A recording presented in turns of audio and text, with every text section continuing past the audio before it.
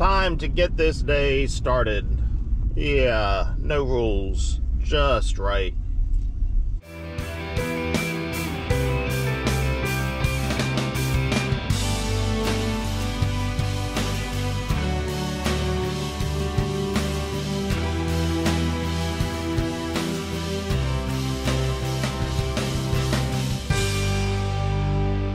I've got the seal kit. My God, $69.81 for a few rubbers. It costs a whole lot to keep your shaft from leaking. Yeah, a few rubbers. $69.81, but I guess the consequences, if your shaft continues to leak, is going to cost you more money than that. So you got to go ahead and protect that shaft.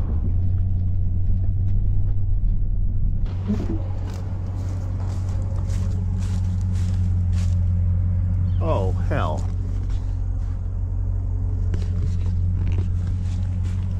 I don't have a hitch. I guess I'm not moving that. In the musical truck game that we played last week, I forgot to grab the hitch, so I guess I'm going to the hardware store and pulling the hitch off of my other truck. What's that saying? Poor planning on your part does not make an emergency on my part. Ah, man, I thought I had this day planned out well, but I screwed it up.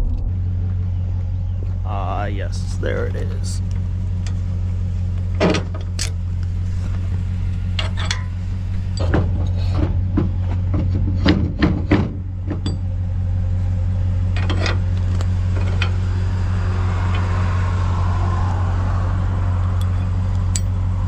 Had hitches stolen out of our parking lot before off of employee vehicles, so let me go tell my daughter I took the hitch so she doesn't think someone stole it.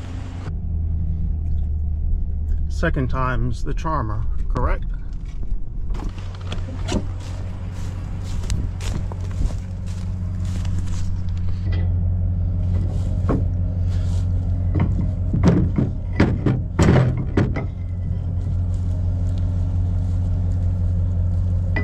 Whoa, whoa, whoa, whoa, whoa.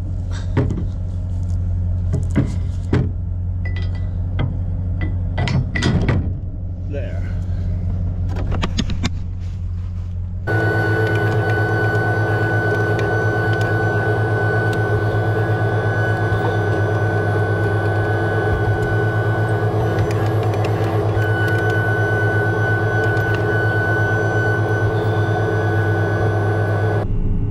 All right, got it on the second shot. That's not too bad.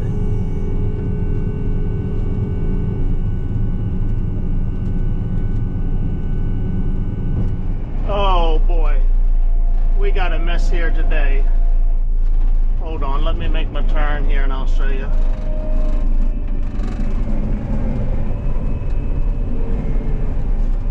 Okay, so this wetlands mitigation project they've been doing on my uncle's farm. I guess they're in the final stages of it. Uh, it's it's off in the distance there. So they're moving their big equipment today, and they can't get these low boys into the farm, I guess. So he's going to back this low boy about a uh, not quite a half a mile, I guess to the end of the farm road and they've got the excavator sitting there waiting to load on here. Hopefully they'll let me go by uh, before they start loading. When they unloaded some of this equipment a couple of months ago, my daughter got caught up in the traffic jam. Uh, she was going to work one morning and um, got to the end of the road and had to wait 10 or 15 minutes for them to get everything loaded up and out of her way. They've got the uh, excavator out here already and they're bringing a big loader out as well. So I'll wait for them to go by. If you thought this would be an easy job pulling the cylinder off from inside the grain tank, uh, you thought wrong. So this pin is moving, so I'll be able to drop it down now. I've got the key out. This one, I'm having a difficult time getting the key out, but that's that's okay. The problem is this pin is not moving. 30 years of dust and grain going into these joints has made this very tight. And I've put a pipe wrench on the bottom. I can't move it. Something tells me I'm going to have to put some heat on here. This cylinder pushes this arm all the way around to move the auger out uh, but let me keep beating on it.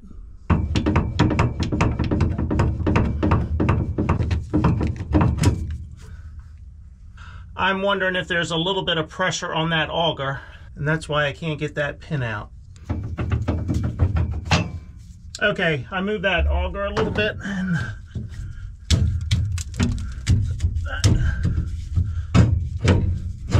well, I think the next part is uh, to heat this block up to get that pin out. I don't see any other way to do that. Uh, so let me go get the torches, get a water hose and put up here just to be on the safe side and uh, let's try to heat that up. I've got a wire up there, but I'm not heating this. I'm only heating that, so let's give it a shot.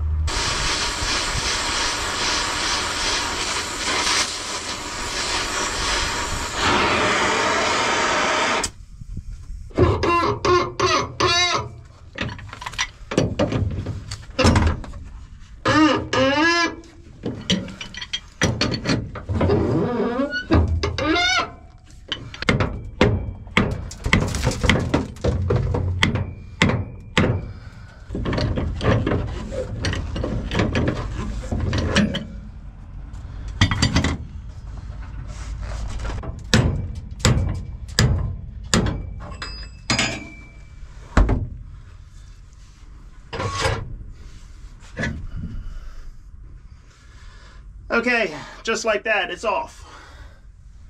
Before I grab that thing,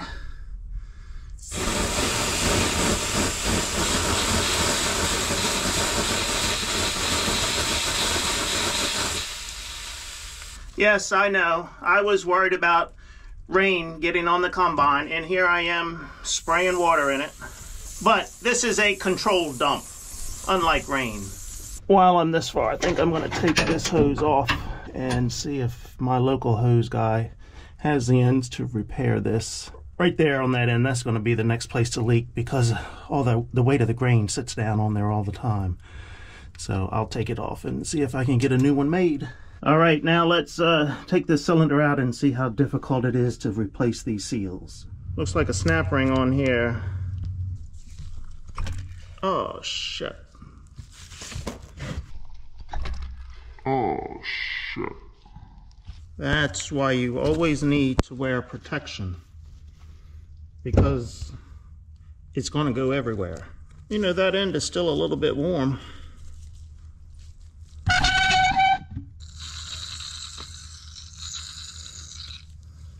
Watch me get to the end and turn the butter bowl over.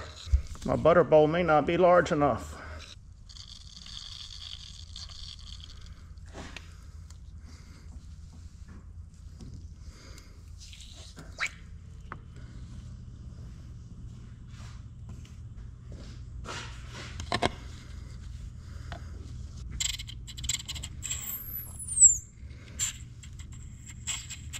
There's this other retaining ring right behind this snap ring. I've got to shove that past the snap ring, that, that internal snap ring, and then that'll come out.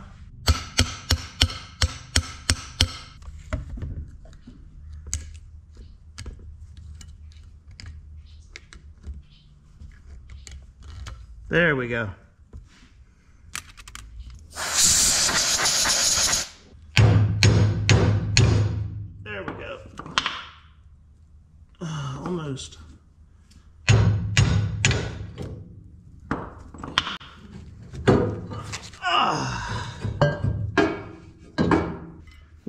Learning together here. Now this nut has to come off so I can take all of this off. All right, let me uh, take a picture of this so I know which way it has to go back on there.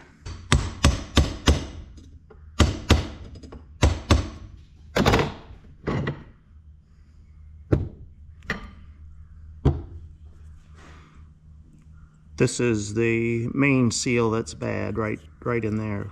Oh my god. I can feel the grit and dirt in there. Wow. I'm surprised it has not gone bad sooner. Okay, put the new snap ring on there right now so you don't forget it. All right, that's on there. I've got a lot of a lot of pieces here. All right, I'm not wasting SD card space uh, while, I, while I'm putting these seals in, so I'll turn you off. Okay, less than 15 minutes later, I've got these seals uh, in here. I replaced this and this. Okay, so that, that, that. The wiper seal is replaced, the inside seal, which was the most important one. That's the one leaking. These two have been replaced. Okay, I think it's ready to go back together. Put a little bit of lube around there so it will slide on my shaft. Lube is always important when you're dealing with the shaft and rubbers.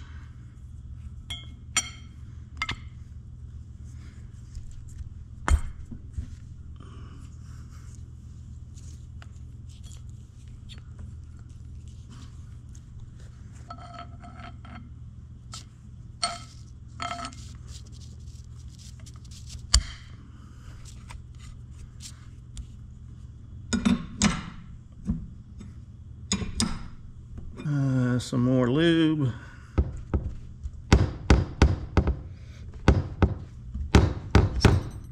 There we go.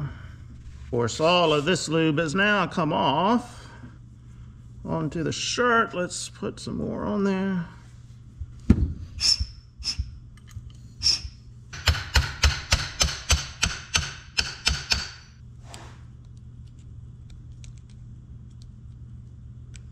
Okay.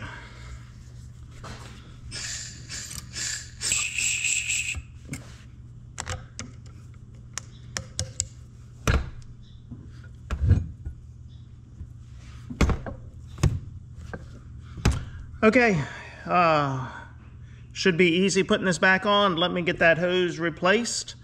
Uh, fill it with uh, hydraulic oil, and I think it should be ready to go. Okay, you see that?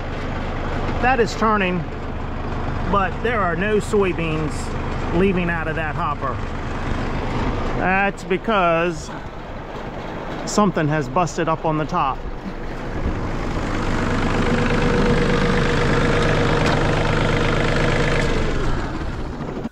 Man, what am I gonna do here? Uh, I'm just gonna have to go get some wrenches and climb up there and pull it apart. Uh, and unfortunately, this auger is now full of beans all the way up there. So it makes it very difficult to move it, to crank it up, pull it away, and then let it down so it's at ground level so we can work on it. I just hope it's not the shaft that has rung off. Oh boy. One of those days, isn't it?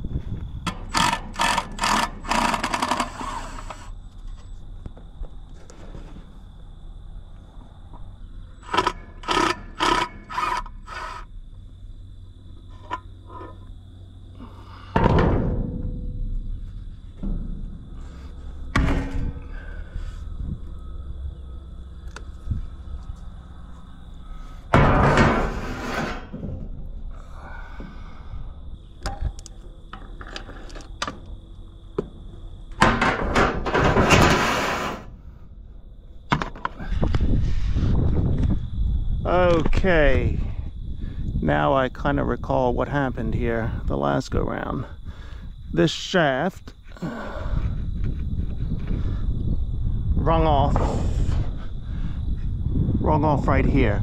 It was the same size as this. And so there was a nub on here about a inch and a half wide. That thing rung off. So we had enough shaft in here to shove the whole auger up to us about an inch. I got a larger cog, a larger hub for the cog, put it on there, and then we tack welded it around the uh, end of it there. And that tack weld broke. It was bubblegum weld that I had put on there. So I think I'm gonna call Jeffrey. He's got a portable welder that we can probably pull up on top of this grain bin and he can weld this thing uh, right here in place. So this isn't too bad. It could have been worse. Okay, I've got a plan. Okay, got the new hose. Let me climb up on here one more time and get this thing on. Let's see what happens here.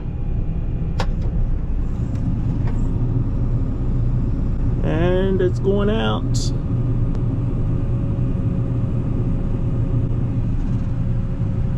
All right, let's press the button to go in.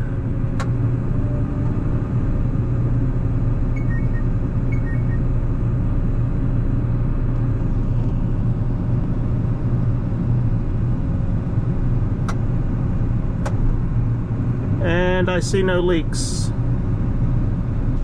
Okay, let's uh, go to the field and cut some soybeans. I think Jeffrey just sent a text to me, let me know. Oh, heck. Oh, heck. Uh, Jeffrey doesn't have his 110 volt welder anymore. He's got a 220.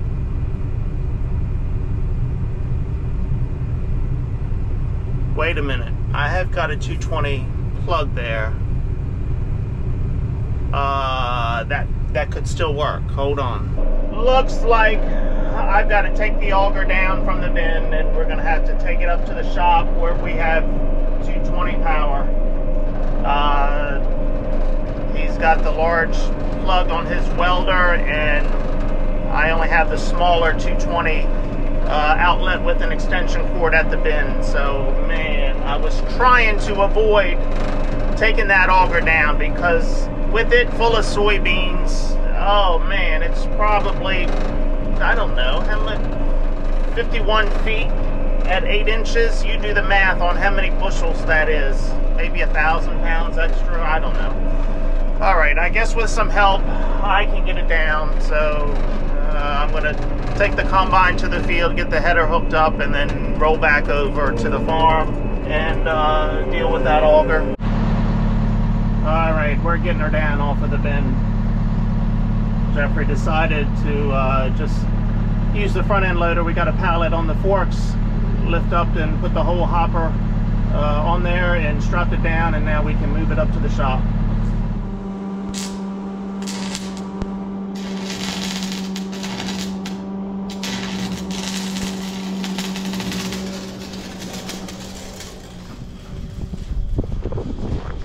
Right, I think I've got the shaft cleaned up enough that we can get that welded up.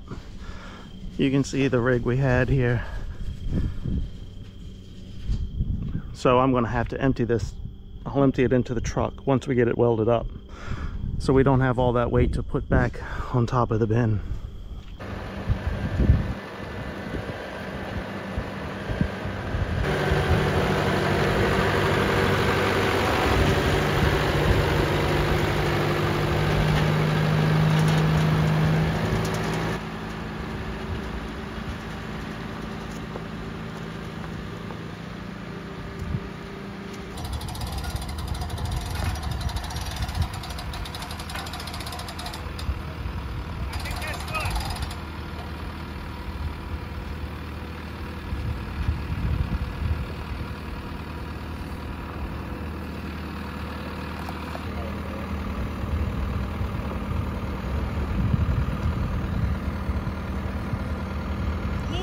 it that way.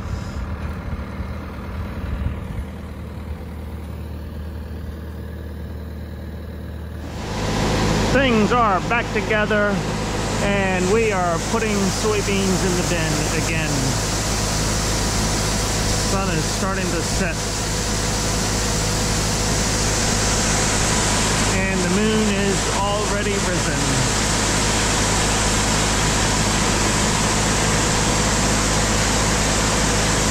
No soybeans cut today. This this was a wasted day. This wasn't my plan when I woke up this morning, but plans are made to be broken. Chihuahua. What a day.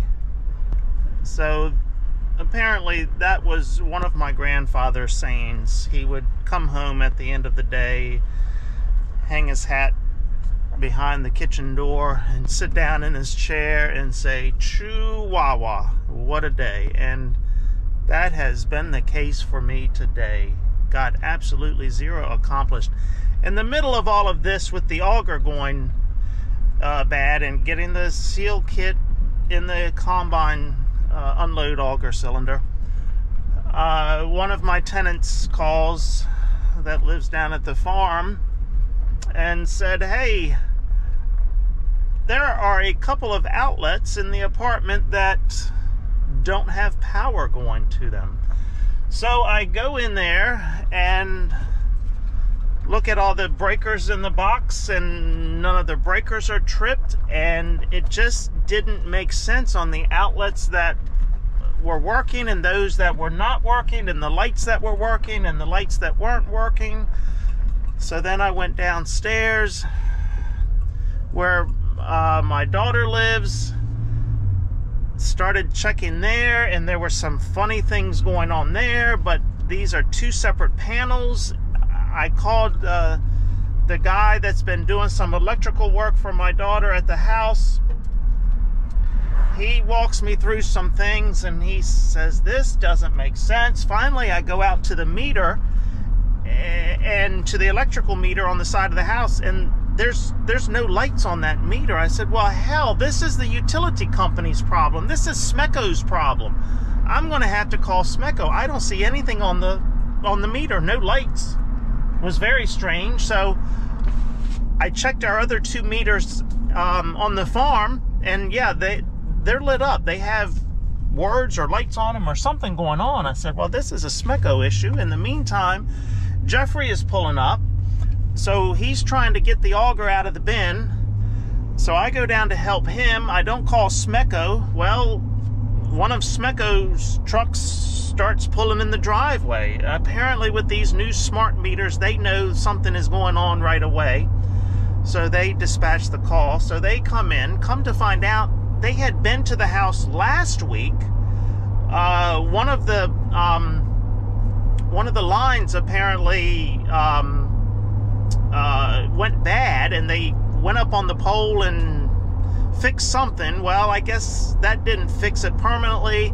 They had to go up on the pole again today. They were talking about maybe they had to replace the line from the pole to the house, but no, in the end, they just replaced uh, uh, some lugs up on the pole for the wire feed going into the house. So I spent an hour scratching my head and worry, wondering what the hell was going on with that, and that was a SMECO issue. So, Chihuahua, what a day.